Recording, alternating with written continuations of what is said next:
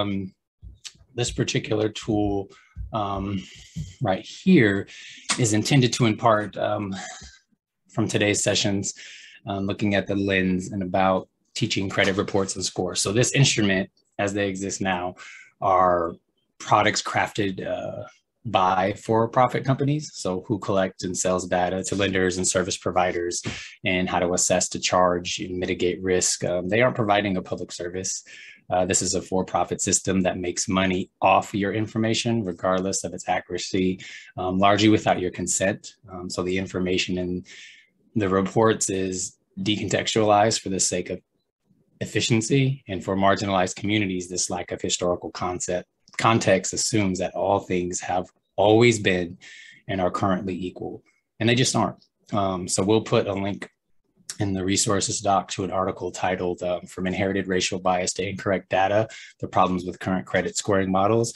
um, that we found helpful in understanding some of the critiques of the credit scoring system that you're seeing here as a visual representation.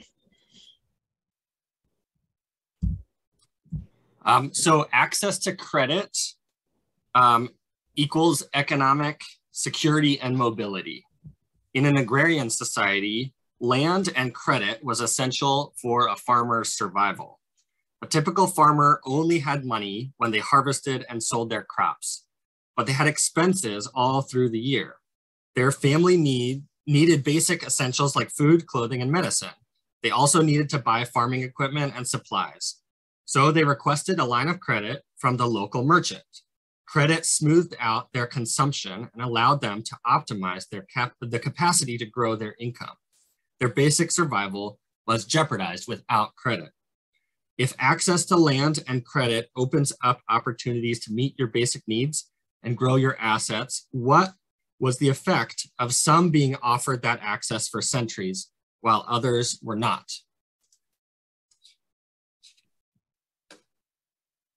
Um, for formerly enslaved people, being freed was not the same as being free.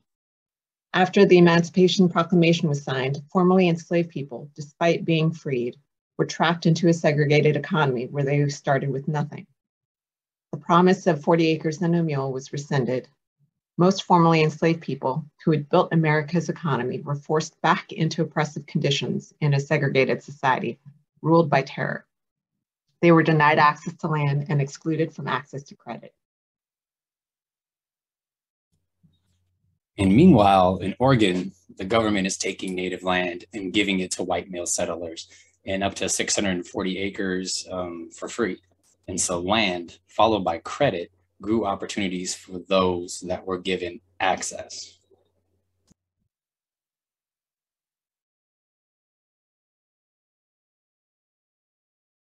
Sorry, I lost my place. Um, so as we discussed at length in the past sessions, our economy has been built to include, serve resources, and validate some while excluding um, undeserving, oppressing, and exploiting others. Um, so again, them versus us, deserving, and not deserving, uh, which directly stifles wealth building opportunities um, in this country. So wealth cannot be built if you are stuck in low paying jobs, um, not having access to low affordability, so credit and banking, um, segregated housing, unequal education opportunities, unequal access to food and to health care. So every single one of these economic legacies that persist impact access to affordable credit, though some progress has been made to increasing access, access and making explicit segregation or exclusion illegal, these systems carry a design that was built to benefit some by excluding or underserving others.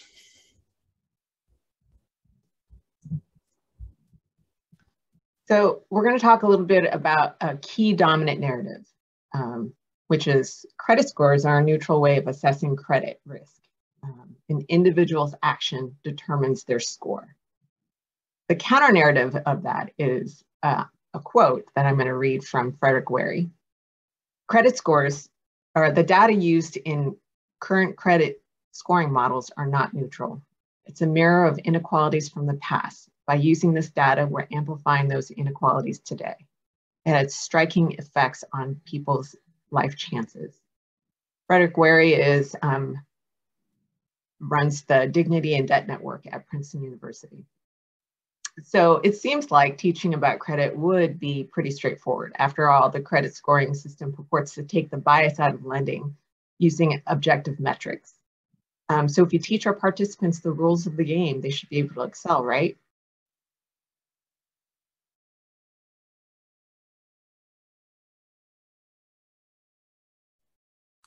To understand inequities in the credit system, it's helpful to look through a lens of disparate impact. Disparate impact occurs when policies, practices, rules, or other systems that appear to be neutral result in a disproportionate impact on a protected group. Take, for example, what we talked about last time. Although access to bank accounts are open to anyone, Black and Latinx households make up a much larger percentage of the unbanked and underbanked populations.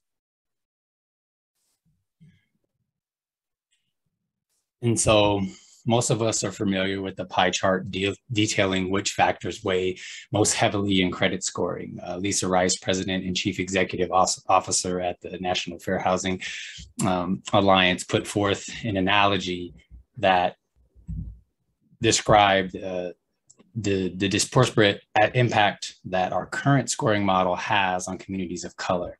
Um, to quote, uh, basically, Suppose the DMV tests a car driving a driver to determine his or her driving abilities. In this test, the driver must drive through a path and navigate a series of cones and obstacles, but the driver is placed in a car that is essentially a limit. The brakes do not work, it does not turn well, and the transmission malfunctions. The driver knocks over several cones, running into obstacles, and completes the course, receiving a low score. But then the same driver is placed into a different car and asked to drive the same course again. This time, the car is not a limit. It is a pristine condition with no problem. In my kid's mind, it would be a Lambo. Uh, the second time through, um, the driver passes with flying colors and receives a high score. Did the driver change? Of course not. What changed is the vehicle the driver used. The test accurately measured how well the driver navigated the course as influenced by the quality of the vehicle, but not his or her driving abilities. Similarly, credit scoring mechanisms are often reflective of the lending environment or the loan product type, but not the risk profile of the borrower. So the financial mainstream fails to properly serve consumers of color who disproportionately access credit in more volatile financial environments. And since the Great Recession of 2008, 93% of all bank closures have been in low income communities, made up primarily of residents of color. Given that bank services are critical entry points to affordable credit and capital distribution, this trend has contributed to the rise of credit deserts across the United States.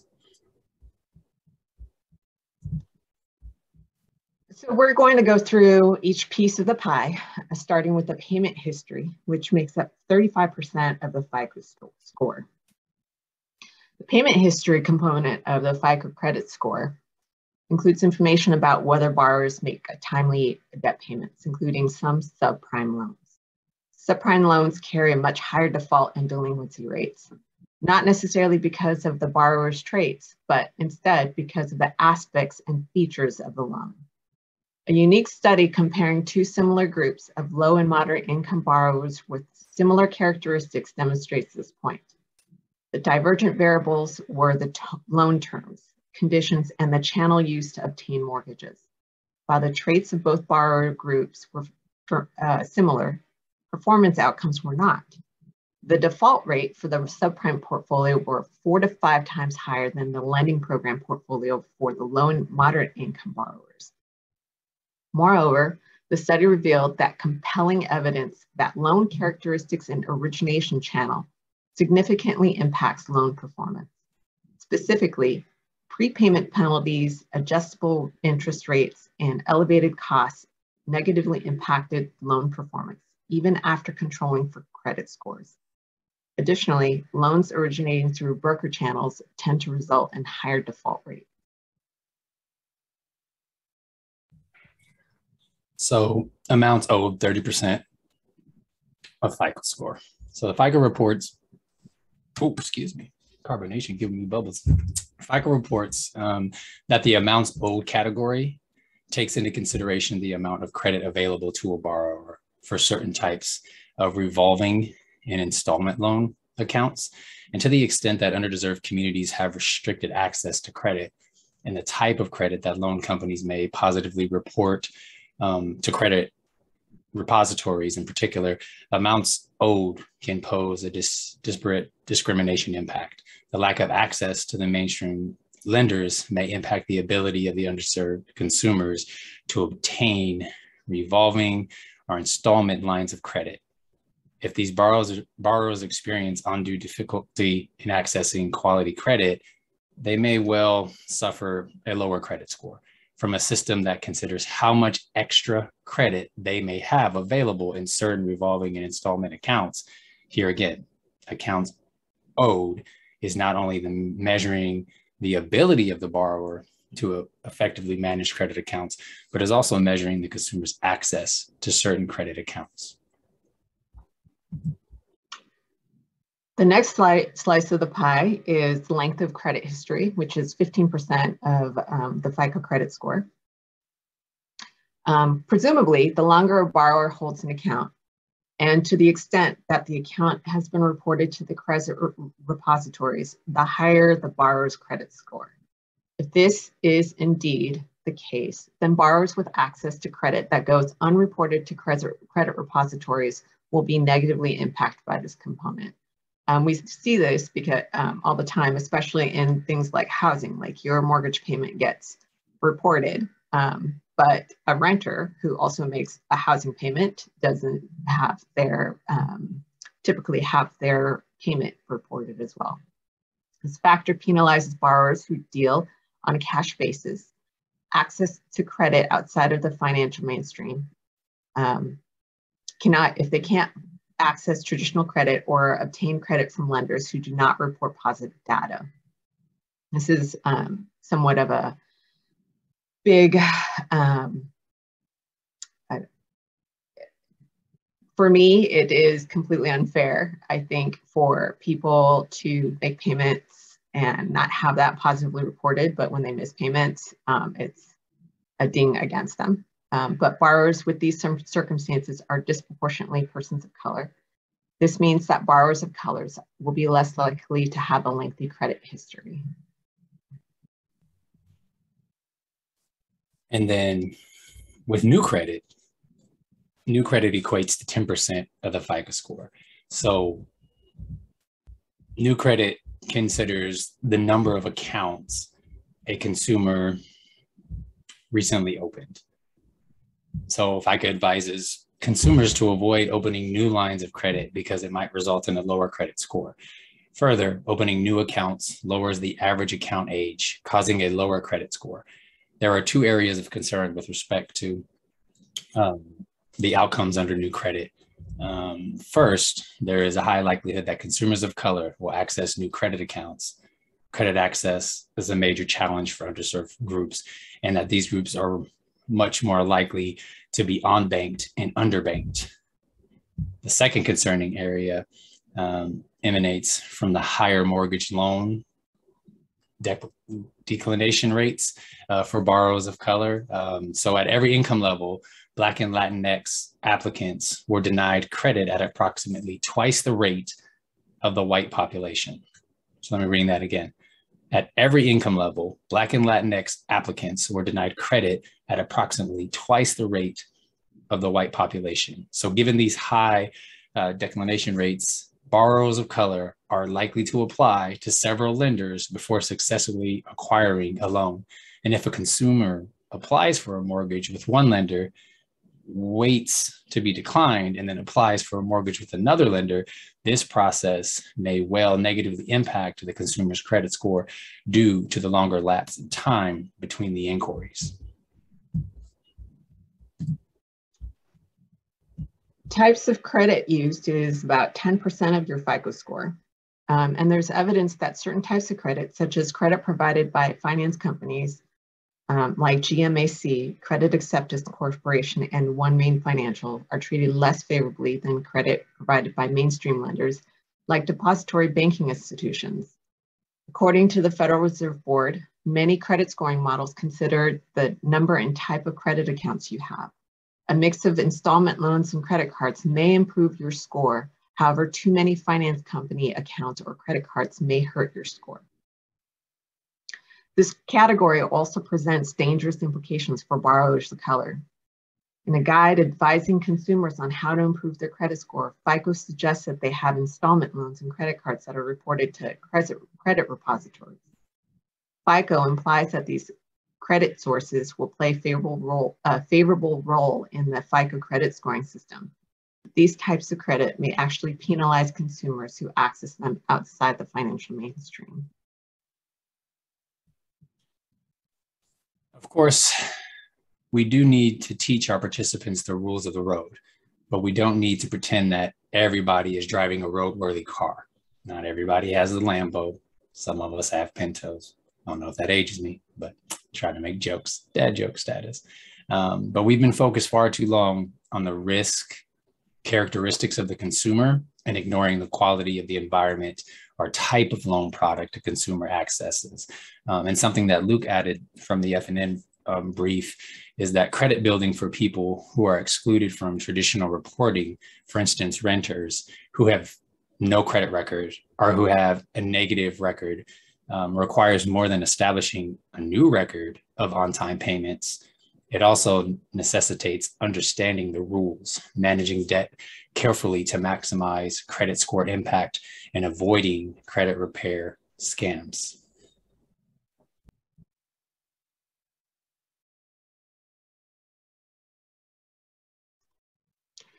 Um, we're going to break into small groups in a moment, um, but I wanted to review again the small group um, guidelines um, specifically, we're asking that each group has a self-appointed small group conversation leader, can be more than one person.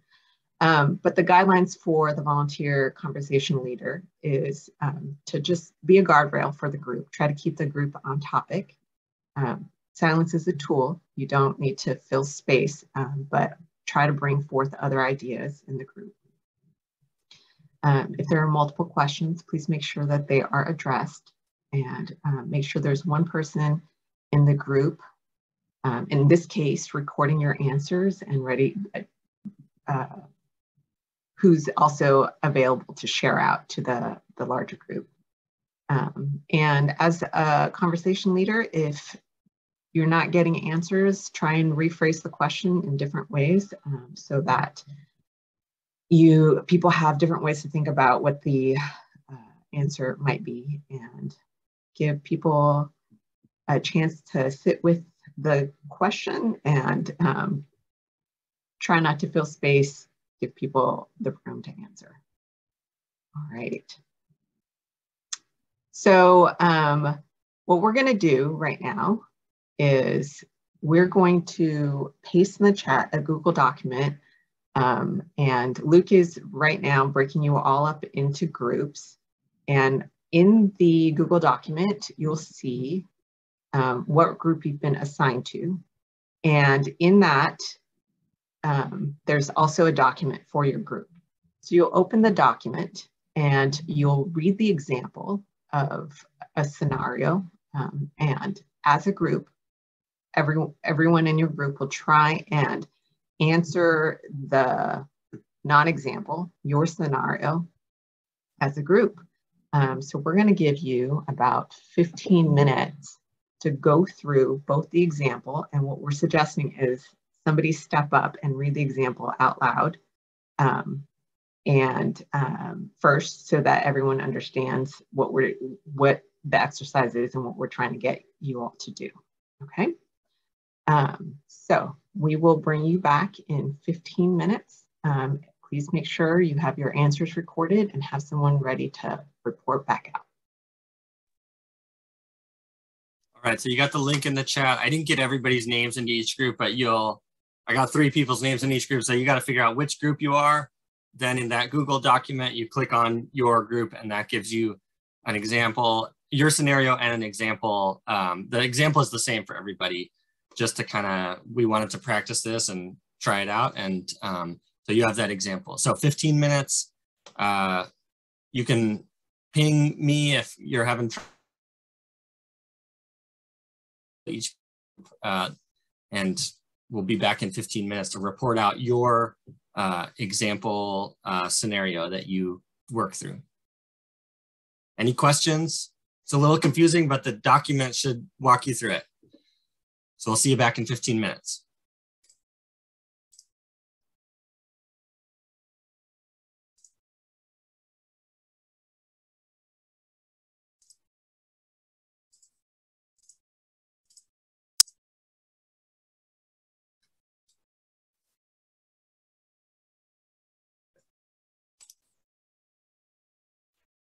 All right, so I know the group I was in didn't quite have enough time, but there was there was good discussion, I think, to get to the point of trying to name the systemic barriers. And then I heard a lot of things that were like, well, we don't know this about the person. Um, I would say those are questions you ask them. Um, that the curiosity is one of the strategies uh, to counter, you know, uh, direct uh, solutions for somebody is to be curious. So we want to have a little bit of time for each group to share out uh, just pretty briefly your your scenario. What were some of the values, uh, goals, systemic barriers, and if you got to the question to respond to. Um, so I'm going to start with group one. Um, we're going to take a break after this, just so you know. So uh, share out and then we'll take a break and then we will continue on. So group one, Alex, Daniela, and Debbie's group. Uh, can you give us a little summary of what you all, what your scenario was and what solutions um, or responses you came up to to counter the dominant narrative? Yeah, and please, any one from group one, please state something. But yeah, I mean, it was informative exercise because we had our assumptions and we started off with that.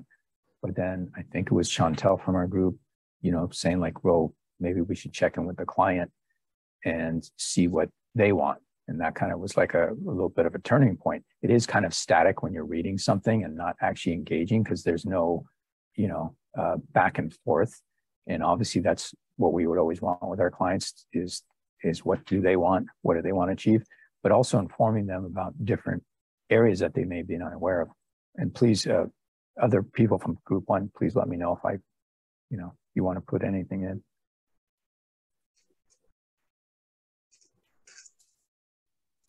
Anybody else from group want to add anything?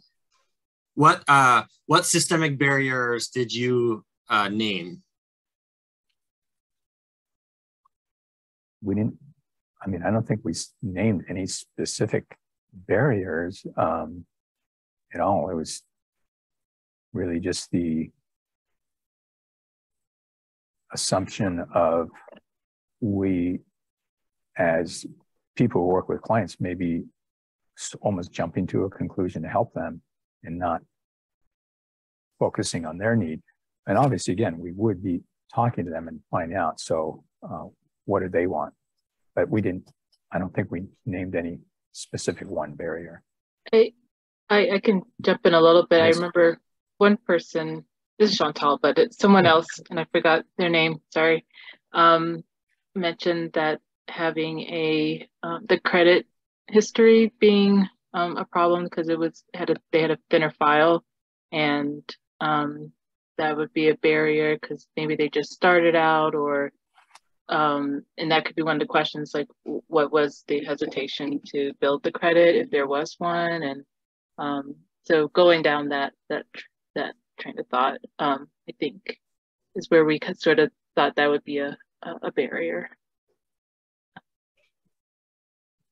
Great, thanks. Yeah, if people, you can click on their example. It's about looking for a rate on a car loan uh, with a thin credit file. And yeah, I would say, you know, a systemic barrier is um, you could just reflect to the client that, boy, you know, they really make it hard to find a, an affordable car loan um, when, you know, the, the payment history is not helping build your credit or something like if we're thinking about the thin credit file being a system that is limiting, right? And uh, not making an assumption that it means that, you know, they're uh, bad at managing their money, but that the way that they manage their money isn't reflecting on their credit score, right? Thinking back to the way credit scores are including and excluding uh, certain things. Okay, let's go to uh, group two. Who from group two would be willing to share a little bit?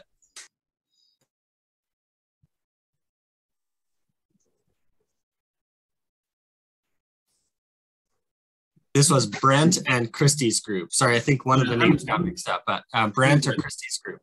I'm happy to uh, talk through this. Let me go back to our uh, our piece here. Um, so we're dealing with Sam, who has no credit history and is nervous or worried because he's seen his parents or his family members struggle with debt. Um, and so that dominant narrative response, you should, uh, oh, and he's being offered uh, credit cards from the stores he's going to to get a discount and things like that. Um, that dominant narrative being you should establish credit as soon as possible. Any credit account is better than nothing. Um, we thought it was really interesting restating the client's goal here i mean ultimately it's something that we wouldn't recommend and we kind of talked through that as well but like he wants to remain debt free so he doesn't struggle with debt he doesn't want to risk taking out debt that he's not able to pay it off our big question with counselors is okay well how are you going to participate in the credit system without incurring some kind of risk we knew long you know we knew down the road that if you ever want a house likelihood is that you're going to have to engage in the credit system maybe even a car as well as just generally other things that might be a little bit easier um, with that. Um, but it was a, a, really interesting conversation there. Um, when we looked at the systemic barriers here, um, one was just life experience. I mean, this was maybe personal, um, but we can't imagine that it wouldn't affect others in Sam's community, which is just those life, his life experience includes past familial struggles with credit. Uh, and I can't imagine that that's not, you know, that, that's not prevalent as well, um, just e even in the US as a whole. Um, but also that free and easy access to store credit without any education, without any understanding of what that might actually be. We talked about how those cards are sold. They're sold as a discount getting mechanism, but you don't know anything about how to pay it off or what the interest rate comes with or any of those pieces when you're sold that in the card so there's a there's a level of, of complexity there as well if you were to engage in every if you were to, to apply for every store card that you could get that's even on its face is just going to be difficult to manage not not withstanding the the difficulty that or the the the marks against your credit that that might incur as well, uh, as well as just the general lack or trust of financial institutions from his past history.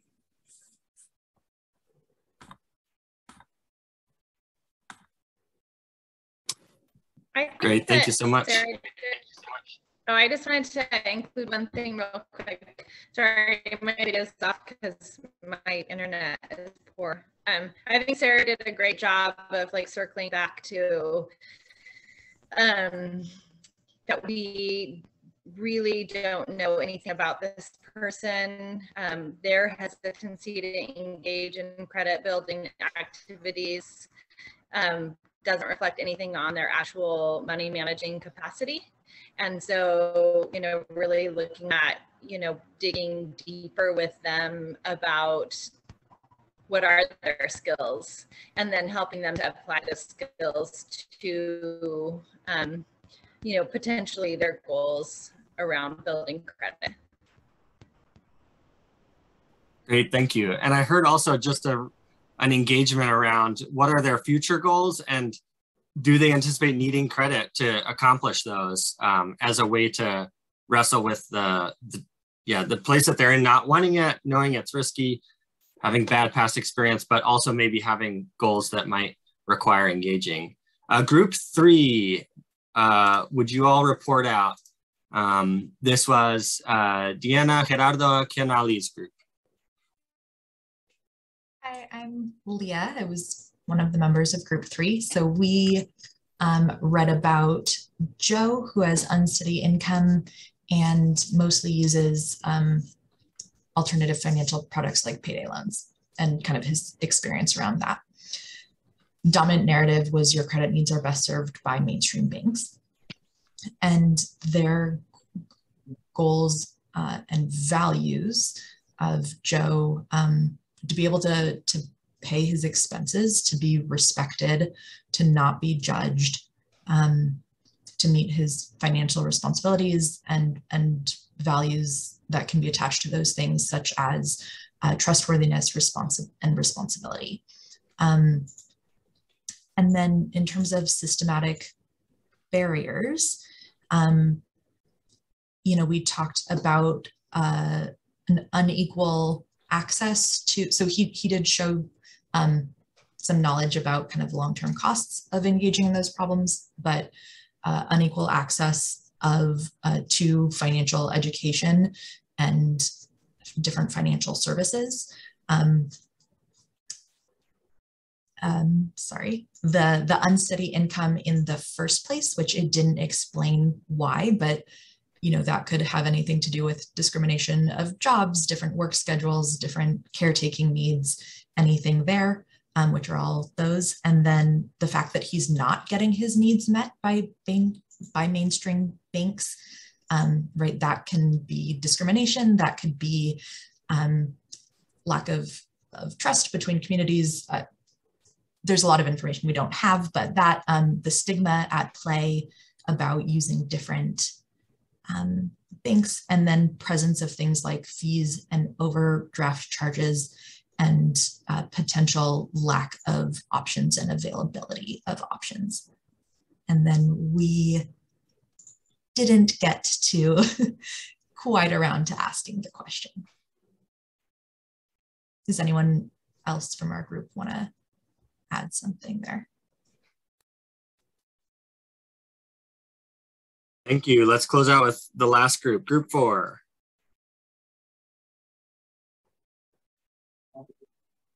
I can go ahead and go. Um, so ours was uh, the problem was Tina had enough income to get by and has a goal of buying a home in the future. She has one credit card that she uses cautiously, but is worried about how her low income will affect her credit score. Um, and then the dominant narrative was your credit report doesn't have information about your income listed, so your credit score is not impacted by your income. You should use your credit more or open a second card to build your credit score. And um, I think what we, you know, we're looking at was, um, as far as a restated goal, is focusing around education with credit credit utilization, income, and um, how that all ties into their stated goal of home ownership. Um, we would ask Tina what her values are around homeownership and why that is a goal. Uh, and then discuss um, how income and credit affect affordability as well as discuss strategies and a timeline. So discussing strategies around building credit, how credit utilization works, how it affects scores, um, discuss credit builder loans and create a timeline and plan towards goals. Excellent. Thank you everybody for sharing. Um, and thanks for yeah, picking apart uh, these scenarios and thinking about how the intersections with credit um, are at play there. Uh, we're going to take a five minute break.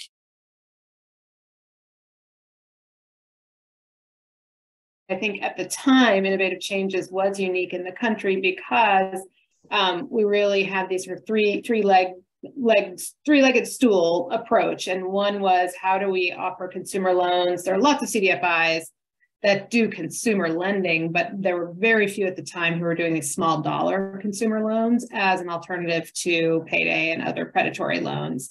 Um, there are more and more now. I'm really excited, you know, to to see the sort of uh, the growth of that of those types of products um, that are being implemented by CDFIs across the country. Because I think to the point that that we were all making earlier in the conversation um, and in the presentations, having it's not enough to have you know better bad products. We actually have to have good products out there that, that people can access in order to not just build their credit, but but also you know be be uh, more financially resilient.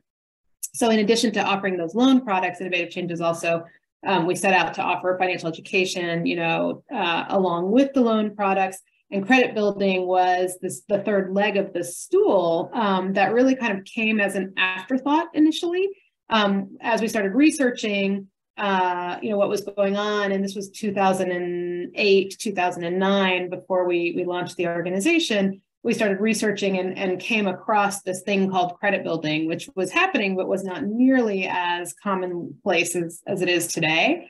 Um, and and what we realized was that we we needed you know we needed quickly to to introduce that as, as a core component of of the the program um, and integrate it with the the curriculum um, that we were developing for the you know the financial education curriculum that that really credit building needed to be one of the drivers of that curriculum not just credit as one sort of component part of a larger curriculum um, I, I, wouldn't say that we did the, the best job at, of that at that time. I think the organization that I work for now, um, you know, that is what we do. We really put credit building at the center of our approach to working with clients with the caveat that we work with with clients you know on whatever their goals are. And if credit building is not one of them we don't insist obviously. But everything we do we see through the lens of how do we help people build credit histories to be able to leverage the the system. Um, but at innovative changes you know um, in, in those days i think the, the concept of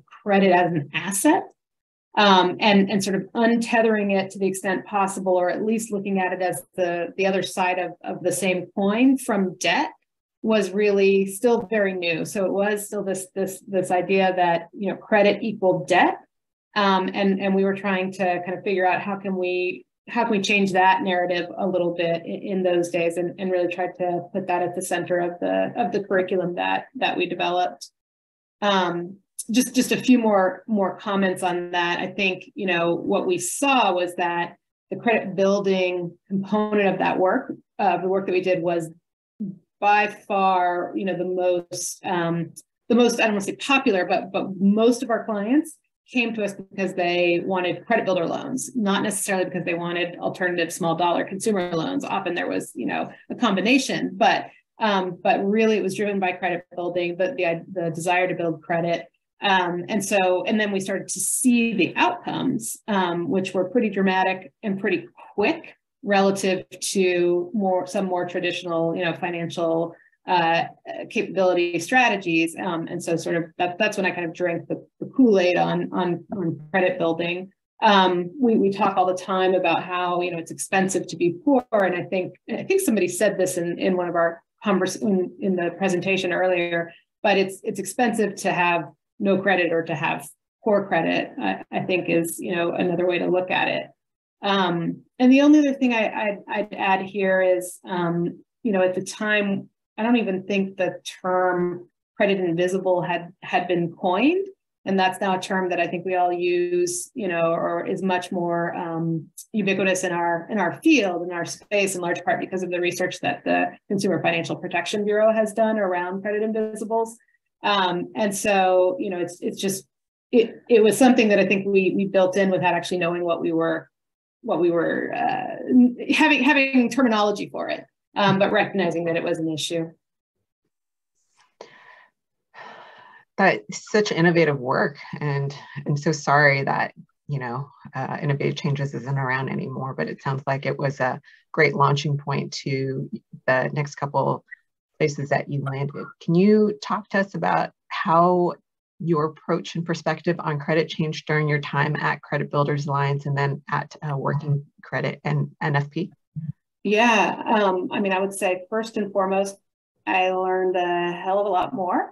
Um, you know, I, there's so much, as you guys know, as as financial coaches and, and counselors, the, there's so much devil in the detail um, when it comes to credit. Um, and and so, you know, I, I, was lucky at Credit Builders Alliance, which Julie mentioned is this national nonprofit. I, I, I know that some, some of your organizations are members of CBA. I recognize some of the names. Um, but, but, you know, um, for so long we talked about my, the luxury I had at CBA was being able to work more closely and maybe peek under the hood a little bit more with the credit bureaus and the way that they made decisions, which you know will not come as any surprise that in many cases was either intentionally you know uh, racist or just you know um, ill-advised or just you know because they didn't have they were dealing with their own capacity issues or uninformed, right? And so that was very interesting to me. Not that I came to the to the work thinking these are great companies trying to do great things, but it was also very, very interesting for me to see um, to see a little bit more how things worked on that front. And I'll just give you one example. We at, at CBA, um, you know, a lot of the mem- nonprofit uh, members are CDFI loan funds, um, and there's a, a, fairly sizable contingent of native CDFIs that many of which were doing credit builder loans as part of their portfolio of lending. And because there is this association in the financial sort of ecosystem uh, with with tribes and payday loans, the credit bureaus, whenever we our team would work to help get the CDFIs um, essentially certified to be able to report their loans to the credit bureau so that they could help their um, their clients build credit history. When we would send the application packages on to the credit bureaus, they would just categorically deny um, the, the, the certification. They would not allow them to become data furnishers because A, they didn't understand anything about CDFIs, and B, in their minds, they were only equating um, you know, any tribal lending with, you know, there has been some historical connection between payday lenders that, that piggyback off of, of tribe sub, um, sovereignty to be able to sort of evade, you know, federal um, and, and state payday loan laws. But it was an, a perfect example of you know this is a this is a good opportunity to help people build credit you know for whom you know credit is is elusive and and and has been challenging. And you know without without recognizing that um, that that that connection you would have had this whole group of of of you know great lenders offering great products to uh, you know people who really needed those products just not be able to to participate in the system um, so I, you know learning a lot seeing kind of how it worked you know on the other side was was really interesting um, i think you know the other thing that um, that i saw you know i saw this in, in innovative changes and i see this at working credit now is you know what we were talking about earlier around some of the shame some of the really even despair that many um, participants come to us feeling around credit. I mean, I remember the very first credit coaching session was with a woman who who came in and I pulled her credit report and she burst into tears before she even looked at the before we even had a chance to look at the report, just burst into tears. And so, you know, we just we sat there, we held hands, we looked at her credit report, and it was it was okay. You know, it wasn't there were some issues, but it was totally manageable. And so, but but she came just already being prepared to to um, to be feel really dejected. Um, and we see that also at, um, at working credit. Um, and I think the thing that I've that, that's been helpful at working credit is to be able to name this kind of experience a little bit and put it, you know, in more context, like what you're trying to do with this training, which is really understanding, understanding, you know, the impact of long-standing discrimination in the credit system that's been such a, a structural force for exclusion um, and or for extraction in communities of color in particular. And so our board president at Working Credit is a, a woman named Jacqueline Scott, and I can put some links in the um, in the chat later um, to share some of her her research. She's a race theorist and an associate professor of philosophy at Loyola, Loyola University. She describes this sort of phenomenon as an existential, is meta oppression. So, so that's you know what her research is about and meta oppression is defined as an existential um, an existential state for many people of color, particularly American Blacks, who have dealt with racialized oppression to such a degree and for so long that it's brought about this um, sort of additional layer of profound sense of resignation um, and despair, and a sense that that nothing will ever get better, it won't ever change. And so, at Working Credit, we've been able to you know, in addition to talking about um, structural racism as sort of the, you know, the thing that under the issue that undergirds everything, putting that framing of meta oppression at the forefront of our work um, as educators and, and counselors. Um, because as practitioners, I think we do have to hold, and we talked about this in the in the breakout group that we were in, we do have to hold the tension between, you know, the failures of this larger system and our um, mission to help people leverage it to their advantage because it, it's so critical to wealth creation. So naming it and integrating it into our relationship building with participants has been really helpful as a way to try to interrupt the, the sort of impact of meta oppression, which we, we think, you know, ultimately helps interrupt the, the impact of structural racism. Wow, that's fantastic. Um, we're, I'm just looking at time. We don't have that much time, um, but I also, I'm not seeing any questions pop up. And so if there aren't questions from the group, I'm gonna go ahead and keep going with my questions, but please, if you do have questions for Sarah, go ahead and type them in. Um, so do you see any opportunities for systemic changes in credit reporting and scoring that you would like to share with the group? Yeah, I mean, I think you alluded to some, and just, you know, I put my email in the chat box, so please feel free, you know, if anybody has any questions after this to, to reach out anytime. Um, you alluded to this in your and some of your comments, um, Julie, sort of the idea that um, of alternative of rent reporting as one source of alternative credit uh, reporting. And, and at CBA, that's sort of near and dear to my heart because when I was at CBA, I worked for like a decade on rent reporting when it first became a thing in, in 2011 to where it is now, which is much, you know, sort of a, an inflection point, I would say, as, as HUD has really kind of embraced it and Fannie and Freddie have embraced it. And so it's, it's really becoming more, um, more a reality. Although, again, there are, you know, I don't believe in any silver bullets and, and there are sort of some infrastructure risks that that are associated with the way that it's implemented or challenges right with the way that it's implemented at all i think ultimately comes down to implementation but i do think alter some alternative data is um, is is is a good way to to sort of open up um, opportunities to access to, to engage with the credit system on on your on consumers own terms um, there's this big push to consumer permission or for consumer permission data. So people probably have seen all the Experian Boost uh, commercials and other things like that. I think that's a, a step in the right direction, but I think ultimately what, what would really make a difference is if it was consumer owned data that we're giving permission for um, for the bureaus and other big kind of aggregators to to um, or repositories to have access to. Because you know I, I don't philosophically necessarily have anything uh, fully i mean our data is monetized all the time by so many different you know players in in, in our financial system but we should get a piece of that pie as consumers as well um, so i think that's another big thing um, that could be that could help break down some of that those structural barriers mm-hmm. do you have any thoughts about um, not replacing the credit bureaus but having a public credit bureau I have mixed feelings about it, not because I don't think it could be perfectly fine, but I, I, you know, depending on what administration is in office, I'm not sure. I, you know, I'm not sure. I'm not sure that that's necessarily the core challenge. I think the core challenge is more who owns my data and do I get some say over how it's used um, and sold. Um, I think, and whether that is a, you know, a, a capitalist, you know, monopoly of credit bureaus or whether that's the federal government again depending on who's leading the federal government you know i'm, I'm not sure i'm not sure the federal government could do a better job um, because i'm not sure that the job I, think the whole the whole construct has to be rethought mm-hmm.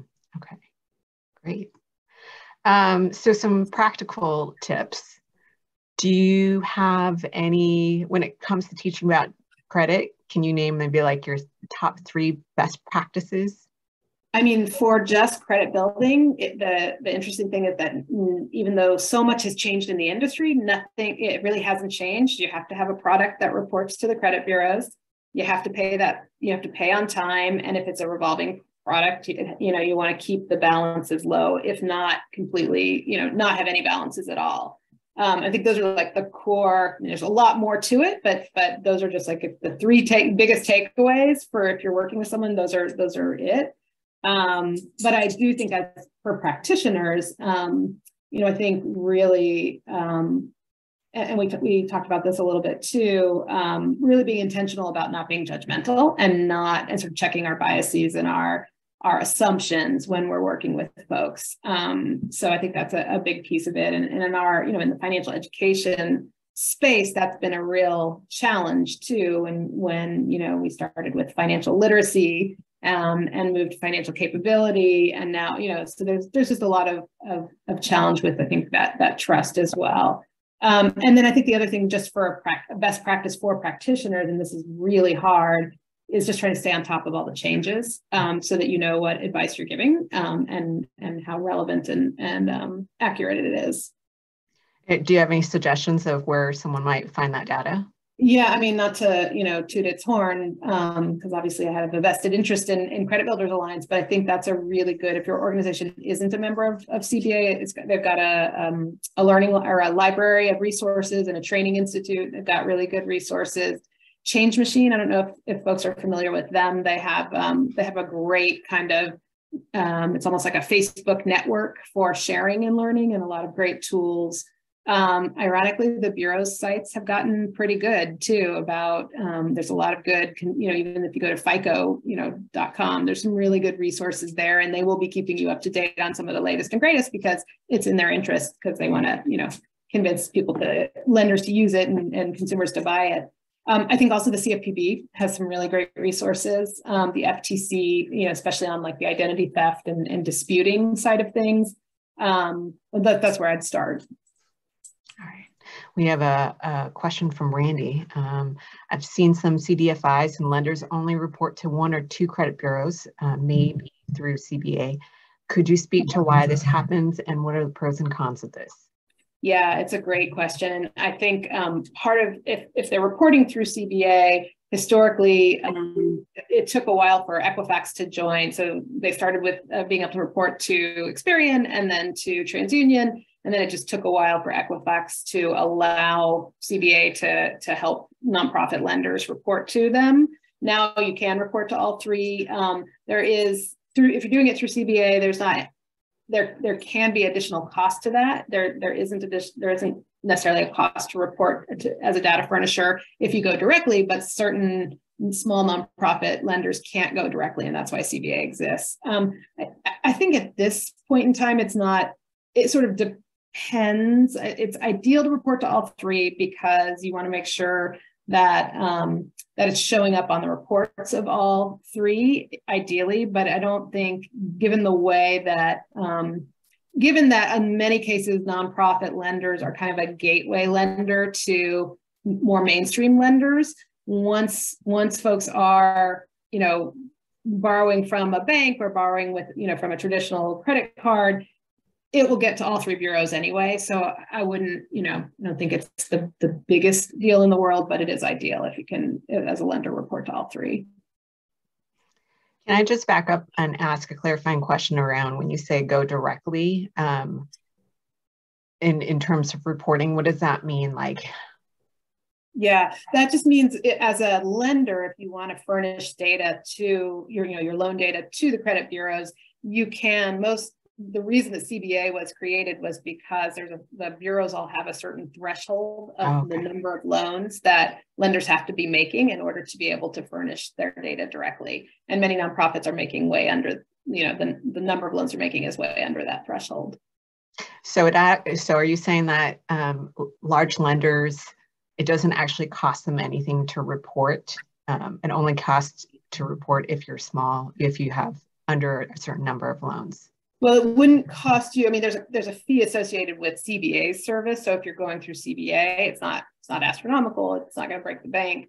Um, but it it you know there are there are fees and there are fees associated with being a data furnisher in the larger ecosystem.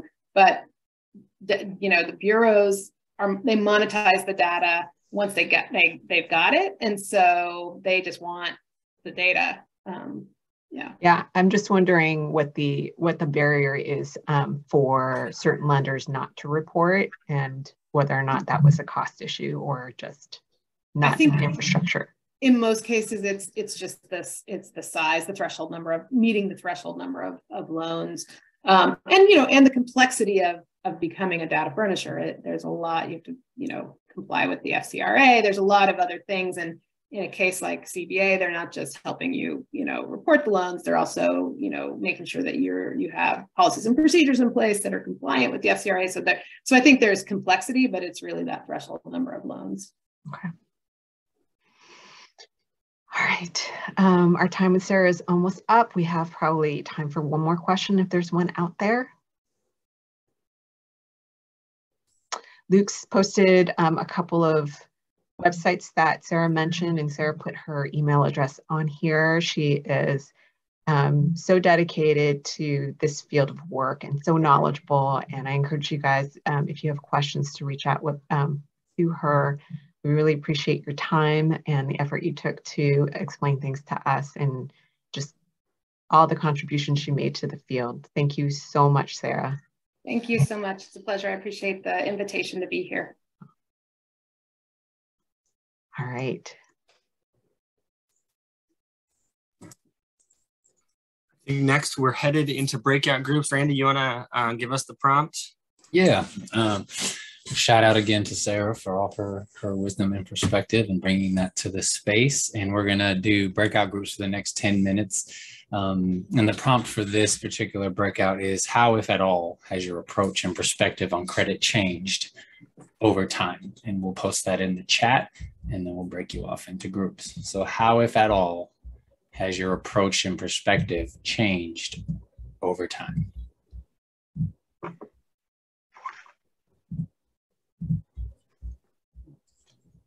I'm going to send you all out. We'll be back in 10 minutes.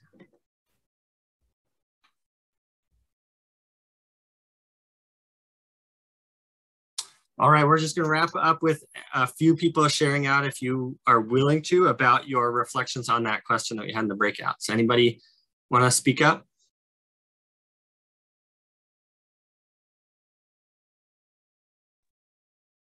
I mean, I, I can go. Uh, we had a good group discussion um, and how, you know, our marginalized communities have been affected most by credit and the reporting. I also feel like there's kind of a stranglehold with these, you know, credit bureaus and FICO and now the advantage uh, that they have too much power and it really disproportionately hurts people um, that primarily we work with. And um, that just helping people um, learn about how credit works, um, hopefully over time will will help them uh, and just use it as a resource and not get so hung up on the score and hopefully the trend over time that they'll improve that. Thanks. Anybody else?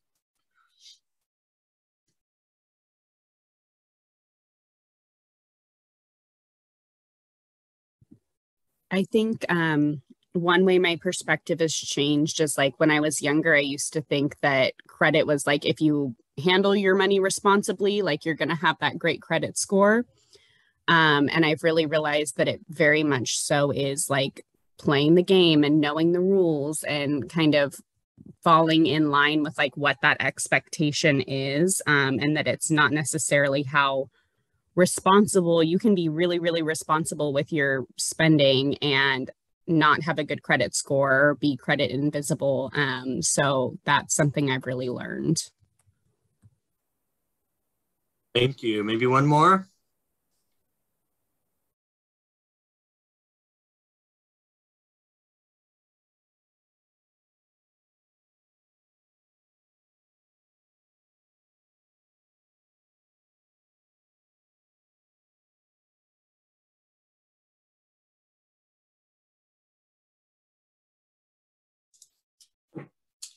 I think my one of my reflections on this question is just how uh, much more people pay if they have no or low credit score to do the same things that somebody with a good credit score, uh, which really um, is, you know, a, uh, I think a, a reflection of historical inequities and how those carry forward. So just learning about that um, is to me something I've reflected on growing that understanding um, and and empathy, sympathy and empathy for uh, the you know if you're stuck in in a situation where you're paying more for uh, you know somewhat arbitrary reasons sometimes. Um, so just to close out, we wanted to ask if anybody out there um, is a CDFI that offers uh, small dollar uh, loans or credit builder loans. Can you put it in the chat? Just curious, or if you are referring to somebody, um, because we heard, you know, Innovative Changes in the past has done that. I know there's CDFIs out there uh, in Oregon and some of you on the call. Uh, awesome, MESO credit builder loan, um, Community Lending Works, uh, which is, uh, yeah, an arm of Dev Northwest, I believe. Um, so keep putting those in the chat. We want to just reflect on that activity that you did at the beginning. Um, we know it was really hard because we did it. Randy and Julie and I did that example, and we were like, dang, this is hard.